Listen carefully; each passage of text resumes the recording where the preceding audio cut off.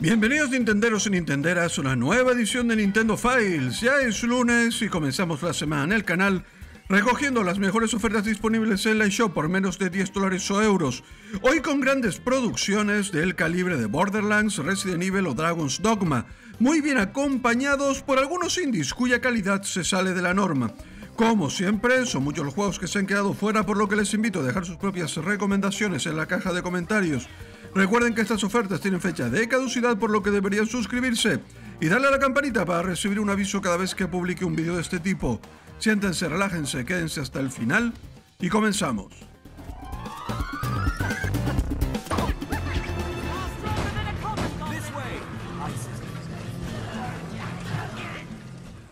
Este es un precio extraordinario para un juego como Dragon's Dogma Dark Arisen Ambientado en un enorme mundo abierto de fantasía, este RPG de Capcom llegó a Switch unos años más tarde, respecto a su lanzamiento para otros sistemas, me refiero, pero incluye todos los contenidos del videojuego original que se lanzó en la generación de PlayStation 3 y Xbox 360, además de los añadidos de su secuela, incluyendo nuevas misiones y enemigos o armas adicionales de nivel superior.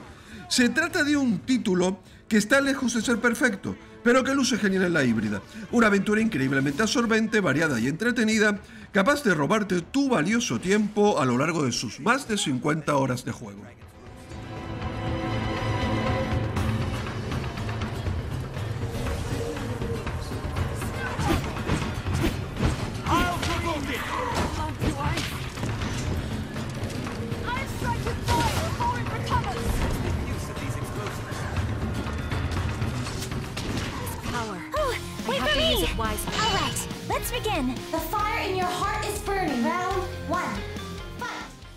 Phantom Breaker Omnia es un juego de lucha accesible, donde no se hace necesario dedicar días y días para dominar combos épicos y movimientos finales espectaculares. Esta virtud es a la vez su principal defecto, pues los más puristas del género es probable que busquen una experiencia más compleja, con 22 luchadores, un modo historia muy interesante y un acabado gráfico que alcanza un buen nivel. Quizás no sea el rey del género, pero sí una buena opción para quienes busquen una alternativa más que solvente.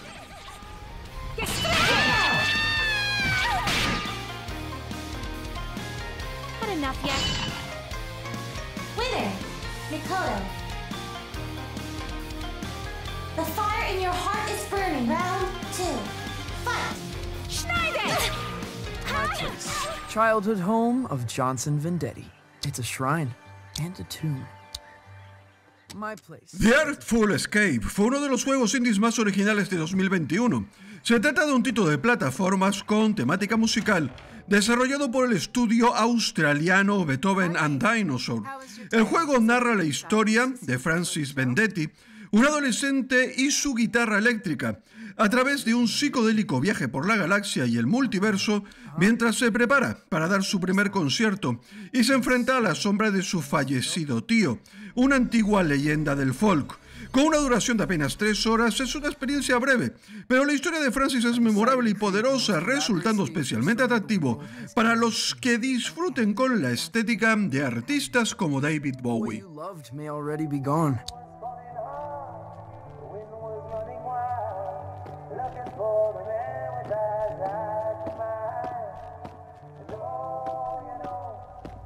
That's my dad and my uncle. They were really close, from the beginning until the end. No one asks me about my dad much.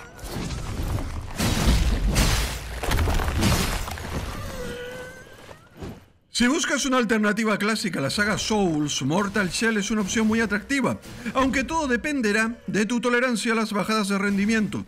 Si eres de los que buscan cada pequeña imperfección y la más mínima ralentización les produce un profundo desasosiego, evítalo.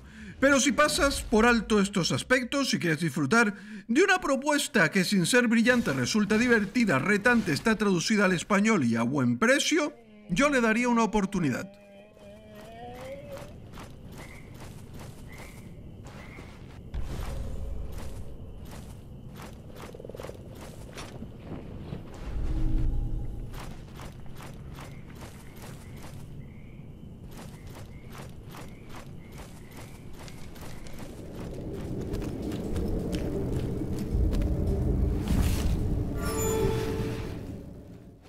Tales of Iron es un RPG de acción que llama la atención por su apartado gráfico dibujado a mano. En esta aventura en 2D tendremos que librar numerosos combates de gran dificultad y que pondrán a prueba nuestra habilidad, porque sus creadores afirman haberse inspirado en Dark Souls al tener que esquivar, contraatacar y realizar ejecuciones letales. Para hacer frente a todas estas adversidades, dispondremos de unas mortíferas habilidades y armas de todo tipo que nos resultarán de gran ayuda para completar misiones y objetivos secundarios.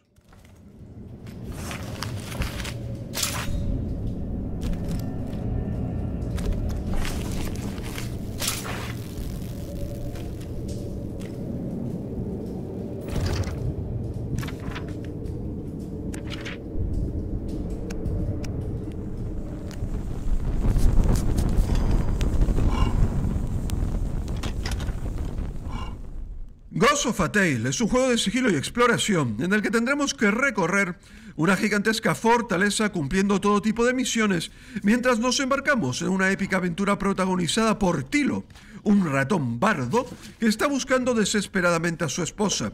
Una aventura muy llamativa y con mucha personalidad que sabe meternos de lleno en un mundo mágico sin más armas que nuestra astucia, nuestro sentido de la orientación y nuestro fiel laúd.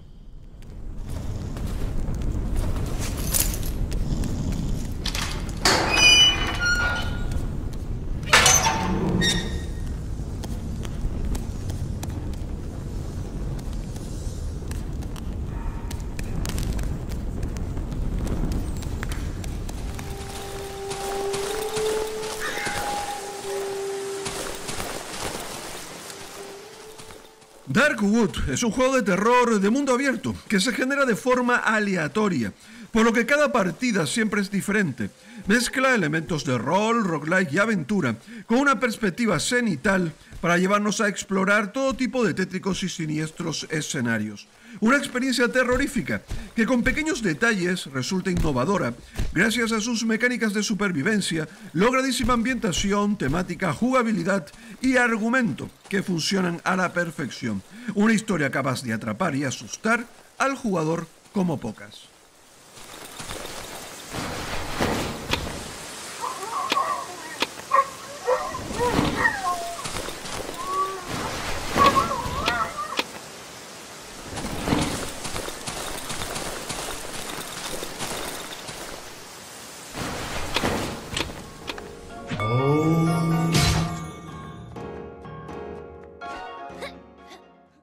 Indivisible, el conocido juego indie de la compañía Lab Zero Games, mezcla de forma magistral géneros aparentemente tan dispares como los Metroidvania, las plataformas y los JRPG, con combates por turnos. Se trata de una producción que llama la atención por su aspecto visual, pero que engancha por su jugabilidad y decepciona un poco por su historia, muy predecible. La parte de exploración es desafiante y llena de saltos, mientras que los combates funcionan parecidos a los del clásico Valkyrie Profile, es decir, con un botón asignado para cada miembro del grupo, una combinación curiosa que merece ser probada.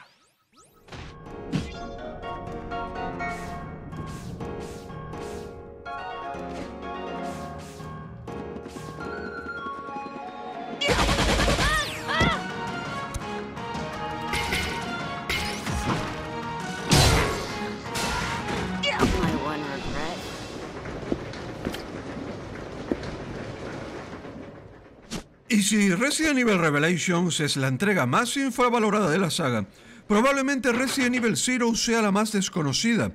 Esta remasterización del juego original de GameCube actúa como precuela de la primera entrega, poniéndonos en la piel de Rebecca Chambers y Billy Cohen, dos personajes muy diferentes cuyo control tendremos que alternar para lograr sobrevivir al horror. Una edición clásica que quizás quede un peldaño por debajo de las tres primeras entregas, pero que nos ofrece buenos puzzles, ajustada dificultad, espectaculares jefes finales y un gran diseño de escenarios. Merece la pena.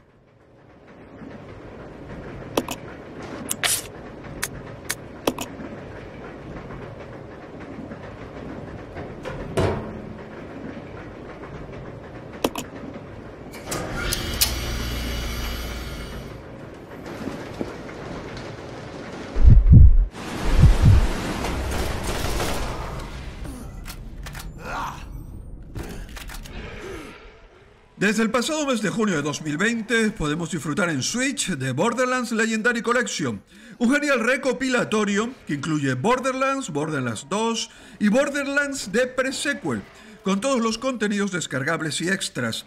Una saga de acción en primera persona con un fuerte componente RPG, por lo que tendremos que subir de nivel, mejorar el equipo de nuestro personaje y adquirir nuevas habilidades y armas.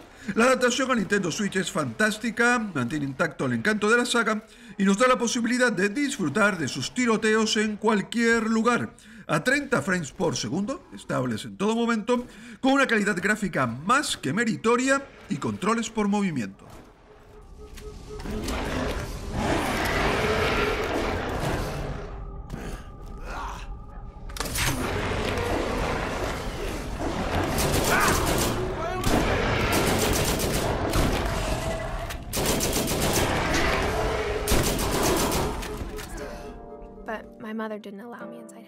Y así damos por terminado nuestro vídeo del día de hoy, una nueva selección de algunos de los mejores juegos en oferta que pueden comprar en la shop de Nintendo Switch, esta vez por menos de 10 dólares o euros.